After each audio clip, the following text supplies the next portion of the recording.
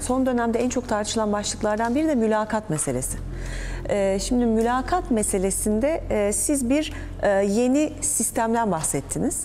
Ben kişisel olarak bu sistemin uygulanırsa doğru olacağını düşünüyorum. Ee, O sistemde öğretmen adaylı mülakata girerken kesinlikle kimlikleri belli olmayacak.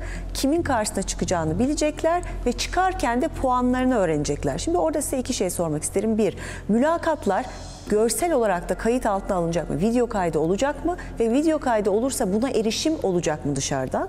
İkincisi e, çıkarken mülakatın sonucu da bildirilecek. Yok, dendi. öyle demedim. Hayır, bir düzeltelim şimdi. Tabii. Sizinle yarım saat 40 dakikalık sohbetimiz içerisinde en çok referans yaptığım kavramlardan bir tanesi temel hak ve hürriyetler, hak, güvenlik ve adaletle ilgili olarak. Aklınıza gelebilecek, biz burada ortaduk günlerce tartıştık. Aklımıza gelebilecek tedbirleri aldık. Kamuoyuyla da paylaştık. Bunun dışında da eğer istediğiniz bir e, ilave bir tedbir varsa onu da alabiliriz. Yani biz bakacağız onun altyapısını da. Sizin bahsettiğiniz bir sürü tedbir, 6-7 tane bu anlamda adaleti ve güveni tesis edecek tedbir aldık. Ee, ve bu şekilde mülakatlarımızı yapacağız.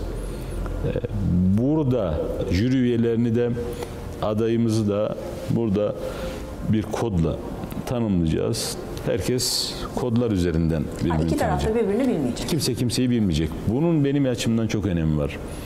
Ee, yani bu birbirini tanımamanın. Çünkü orada iletişim artık sağlanamaz. Ne siyasetçi sağlar, ne bürokrat sağlar, ne başkası sağlar. Aday ben mülakata gireceğim, jürimde şunlar varmış sorusunu bilemedi. Ben de bilmeyeceğim. Sistem O orada çok önemli. Amerika'da ayrımcılığa ve cinsiyet eşitsizliğine karşı da bu sistemle yavaş yavaş e, adaleti sağlamaya çalıştılar.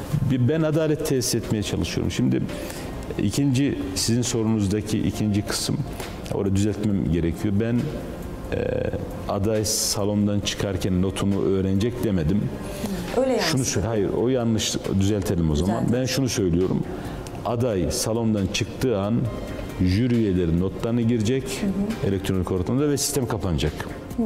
Aday bilmeyecek bunu. Aday da bilmeyecek, jüri üyeleri de aday çıktığı andan itibaren ilgili adayın notuna müdahale etme şansları kalmıyor artık. O zaman orada soru şu. Bir şey söyleyeyim müsaadenle.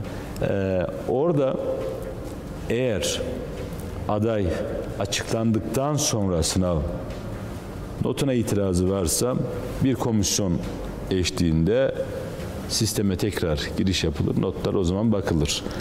Ee, güvenlik kamerası ile ilgili yani e, görüntü kaydedici cihazlarla ilgili de onu da söyledik zaten. Onu da kaydedeceğiz. Ha, onun ötesinde aday soru kendisine sorulan yani bana şunu da diyemez. Bana baktılar kılığıma, kıyafetime.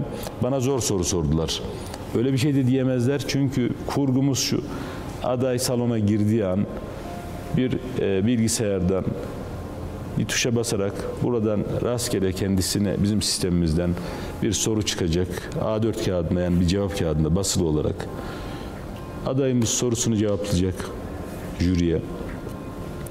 Sonra da bana sorulan şu soruyla ilgili şu şu şu hususlara değindim diye bir tutanak altını imzalayacak. Yani hem yazılı bir belgemiz olacak hem bir görüntü olacak.